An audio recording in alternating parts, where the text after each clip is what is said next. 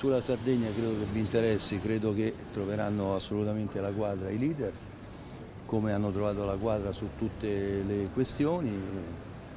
Quindi è Solinas per voi il candidato in Sardegna? No, io ho detto che troveranno la quadra i leader sulle vicende sul tavolo, una delle quali è la Sardegna e troveranno la quadra anche sulla Sardegna. Ma ci possono essere ricadute sulla Basilicata?